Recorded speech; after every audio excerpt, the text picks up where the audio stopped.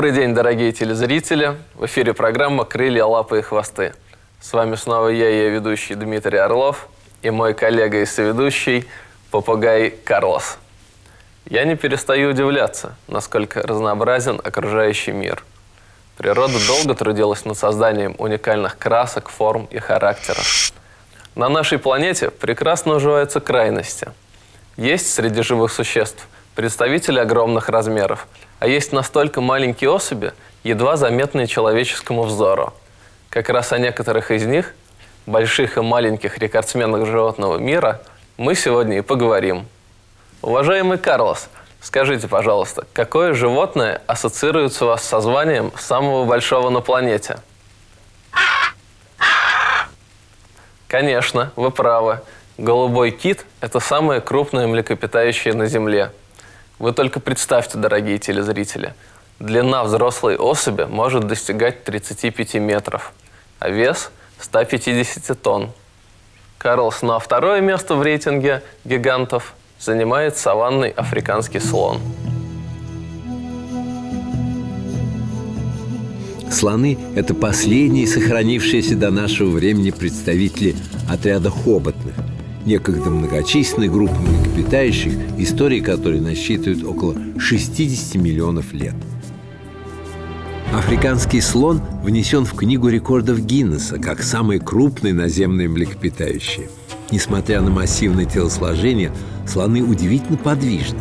Они хорошо плавают и даже передвигаются по дну водоема, выставив над водой только хобот. Эти животные могут развивать скорость до 35-40 км в час. Саванновые слоны стараются селиться неподалеку от водоемов. Без воды эти огромные существа могут погибнуть. Слоны активны как днем, так и ночью. Общаясь между собой, они используют большое число визуальных сигналов и прикосновений, а также широкий репертуар звуков – включая известный всем громкий трубный рев. Исследования показали, что крики слонов содержат еще и инфразвуки, благодаря чему они слышны на расстоянии до 10 километров.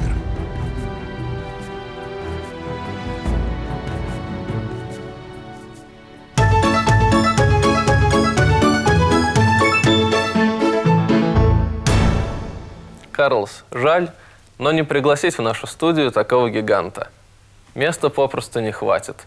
Но ничего, у нас в гостях тоже рекордсмен. Знакомьтесь, это пантеровая черепаха. Она считается второй по величине среди сухопутных черепах африканского континента. Первое место занимает шпароносная черепаха, ближайшая родственница нашей сегодняшней героини. Но сегодня речь не о ней. Некоторые натуралисты называют эту черепаху самой красивой из всех существующих. Согласитесь, Карлос, выглядит она и вправду очень эффектно. Эту черепаху легко опознать по ее своеобразному панцирю, который напоминает купол. Давайте повнимательнее посмотрим на нашу гостью. Вся поверхность карапакса – это верхний щиток панциря, как будто изрисован черными пятнами. Кстати, из-за такой окраски панциря эту черепаху часто называют леопардовой. Согласитесь, Карлос – Такая расцветка нашей гости – очень неплохой камуфляж. Ее собственная внешность очень помогает черепахе и в маскировке, и защите от врагов. Существует даже такая история. Один натуралист доставил пантеровых черепах из Африки в Европу. Одна черепаха у него ускользнула. И владелец нашел свою проворную подопечную лишь на следующий день на порядочном расстоянии – больше суток он искал пантеровую черепаху, но из-за такой окраски панциря она как будто сливалась с местностью. А сейчас давайте посмотрим на массивные конечности нашей гости. На каждой лапе есть роговые наросты и массивные когти. Такое строение конечностей помогает во многом пантеровой черепахе в добыче пищи.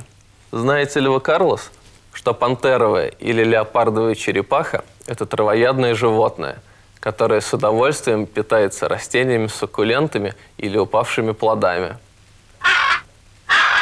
Ну что же, друзья, а сейчас мы попрощаемся с нашей очаровательной гостьей и продолжим нашу программу.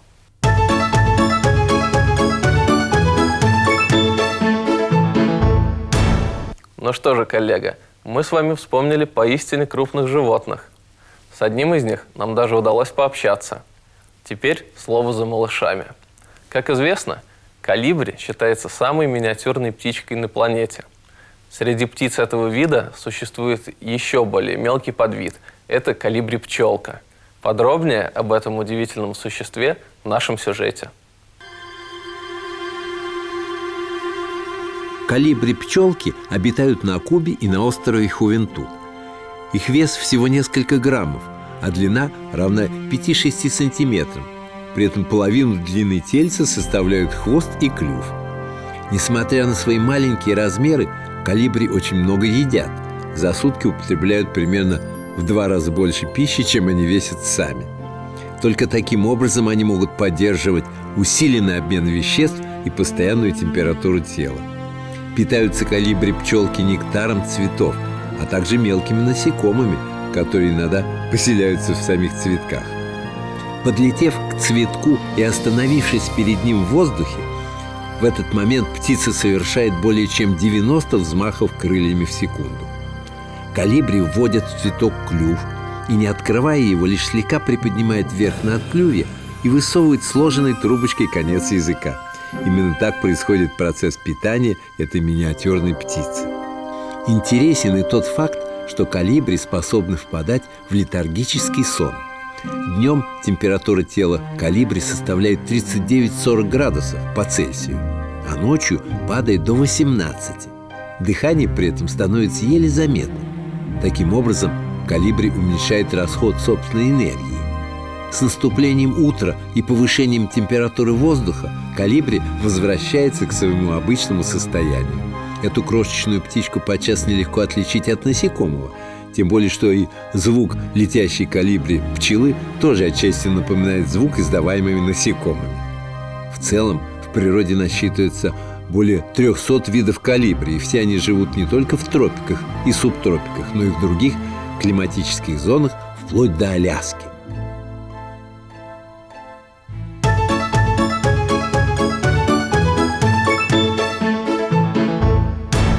А сейчас я хочу представить вам еще одну птицу, конечно, тоже рекордсмену в своем роде. Это самая крупная сова на планете – филин. Птицу эту легко узнать, в первую очередь по ее размерам, темному клюву и мохнатым лапам. Карлос, вы только посмотрите, какой устрашающий вид у нашего гостя. Не зря эту птицу еще называют пугач.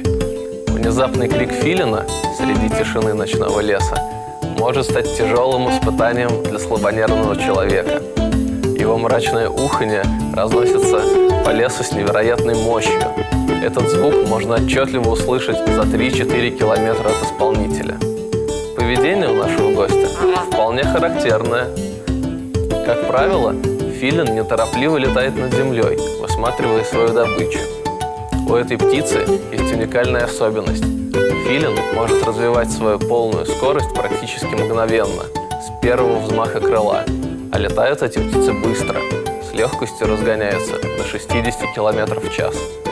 Обратите внимание, друзья, на богатое и плотное оперение нашего гостя. Вес этой огромной совы может составлять 4 килограмма, а размах крыльев до полутора метров.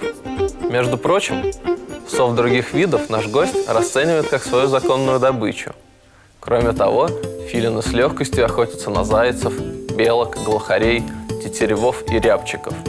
Промышляют в местах ночевок ворон и грачей, ловят чаек. Да, не хотел бы я в ночном лесу встретиться один на один с этой огромной совой. Филин всем своим видом показывает, кто хозяин на этой территории –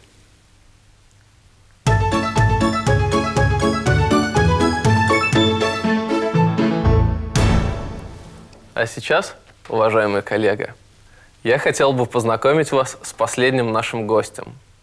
У меня в руках джунгарский хомячок. Эти грызуны, как вам удалось заметить, дорогие друзья, совсем маленькие. Их длина не превышает 9 сантиметров. А средний рост этих хомячков составляет около 5-6 сантиметров. Рассмотрим этого симпатягу повнимательнее. Для карликового джунгарика характерны пушистые ноги, на спине у него толстая темная полоска. Также у хомячка очень короткий хвост, которого практически не видно, когда он сидит. Мех джунгарского карликового хомячка отличается значительными белыми вкраплениями. Подобная окраска объясняется тем, что джунгарский хомячок – степное животное. Он часто укрывается от хищников, зарываясь в снег. Живут джунгарики, главным образом, на юге Сибири, однако встречаются в Казахстане, Монголии и Маньчжурии. Вам тоже симпатичен наш герой? Прекрасно вас понимаю. Этого симпатягу любят взрослые и дети. Поэтому его частенько можно встретить в городских квартирах. Эти карликовые хомячки легко приручаются.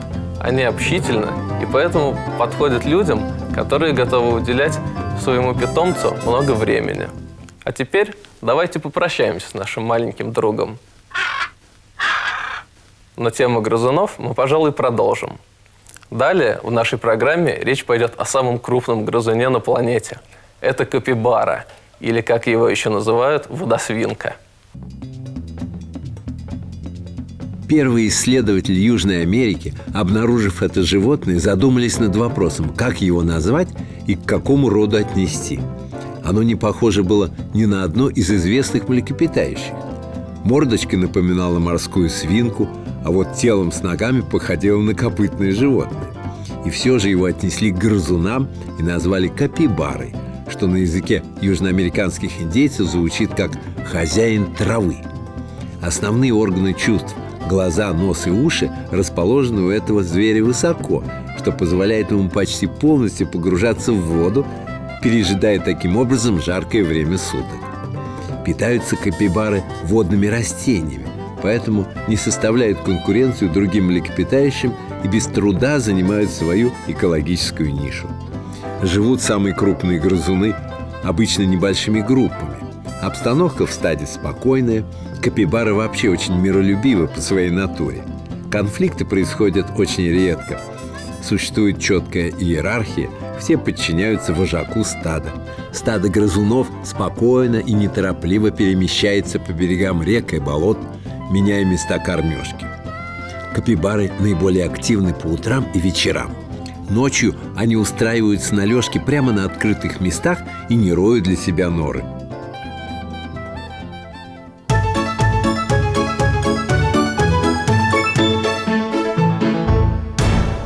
На этом, дорогие телезрители, мы с Карлосом прощаемся с вами.